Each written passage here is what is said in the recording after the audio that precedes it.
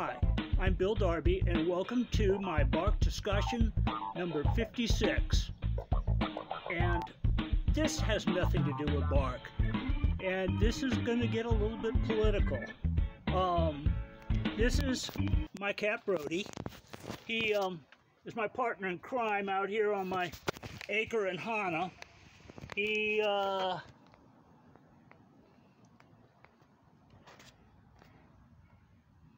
I'm 74 years old, and Brody is, to my best knowledge, he's 11. I inherited it from my friend Neil, and uh, we live out here on a very remote acre on the wet side of Maui. And uh, the reason why I'm doing this is that Brody has proven quite a few times how loyal he is to me. Once I saw him I, there was a period of time when I had a feral cow, the largest cow I'd ever seen on this island, literally repeatedly come onto my acre, crashing through my barbed wire fence. One morning I woke up and saw Brody standing him off.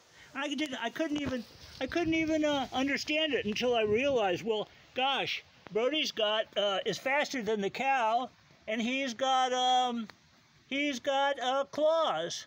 So uh, and then, what's there was another one, something else I wanted to tell you about. Oh yeah. So just a few weeks ago, Brody, uh, a younger, maybe half again as big a, uh, again, cat came onto this property. Just took into Brody, just just attacked him. I woke up this morning and that morning and they were fighting, and uh, injured Brody up, and that cat disappeared and never has never come back. So Brody held him off.